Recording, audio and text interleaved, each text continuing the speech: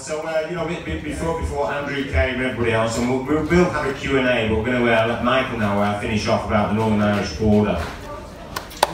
And being, I almost counts Irish, don't? I'm not going to drop an English blood in there.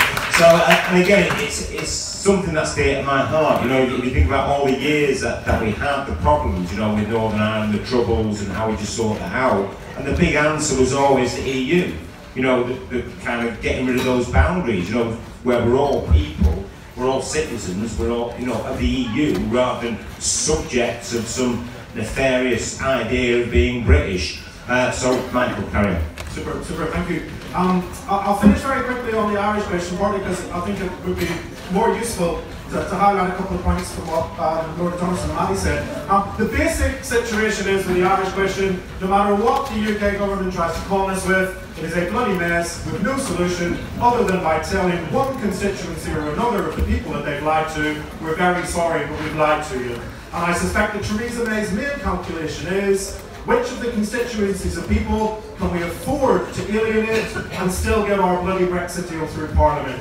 And that's the only thing I think is going through her mind. Will we alienate the DUP and survive with the votes of Frank Field and Kate Hoey and all of the other horrible people like that? Or will we alienate the Brexiteers and hope that enough Labour MPs come with us? There is no solution to the Irish problem which does not involve disappointing a significant constituency of interest or simply prompting the collapse of the peace process in Northern Ireland. Um, just a couple of things on, on, on what Lord Adonis said, and I'll, I'll, just be really, really brief. Um, first of all, and again, this is more about sort of tactics and what we have to look out for over the, the, the next coming crucial few weeks, and they are crucial. Brexit is such a horror show, and it is a horror show in every conceivable way, in every conceivable direction, that we already know what Theresa May's line is going to be anything which is not a complete catastrophe is some sort of triumph or success for the government.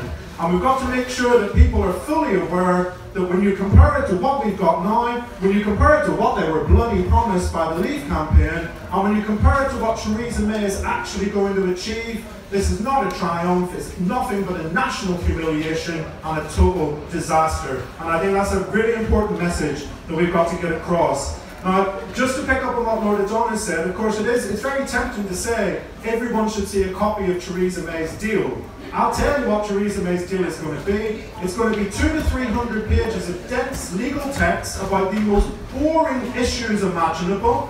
What do we do with goods which are currently sitting in lorries at a, at a ferry port at the moment of exit? Whose customs rules will apply to them. There's loads of stuff about citizens' rights. By the way, it's trumpeted as a triumph. It's actually a scandal, but uh, I can answer questions about that if you want. What are we not going to see? We're not going to see any credible vision for what the future relationship of this country is going to be between the UK and the EU. That's what we were promised over and over again, we are not going to see it because she hasn't managed to secure it, and that's, of course, what we are all most interested in. So we can read these 300 pages of text about what to do with lorries and customs if we want to, but the crucial things are actually going to be absent. Second point about what to, what to, what to campaign on, what to, what to say. Uh, it is very tempting to always focus, I suppose, on the loss of our citizenship rights our right to move and travel and retire and work and study across the EU. One of my experiences is that actually, for lots of people in this country, those are very middle class, aspirational rights which don't connect to their daily lives. And sometimes they actually respond in a negative way to the loss of these citizenship rights because they think that these are things which are beyond their, their reach, their grasp.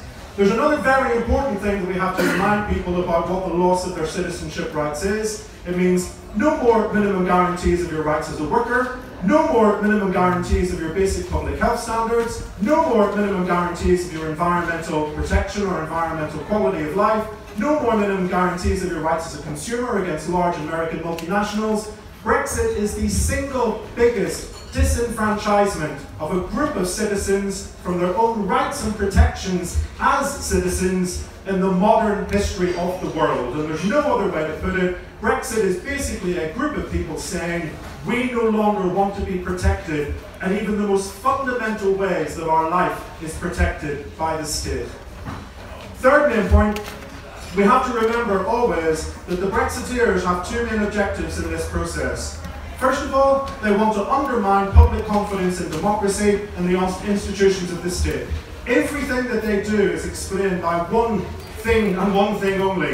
They want to convince people that you can't trust politicians, but you can't trust experts, you can't trust the BBC, you can't trust the courts. There is not a single institution in this country which has not been savaged and undermined by the Leave campaign. And their goal is to create such a sense of cynicism and alienation that the population no longer believes in democracy. The second thing they want is absolute chaos. They want chaos. They want disruption. They want damage because it's when chaos reigns the right-wing radicals can transform their little steps towards authoritarian liberalism into big steps towards authoritarian liberalism. And none of us should kid ourselves. The real agenda behind Brexit isn't just leaving the EU. The real agenda behind Brexit is a radical right-wing transformation of this country along lines that I suspect most of the people in this room and in the country would be actually horrified by. So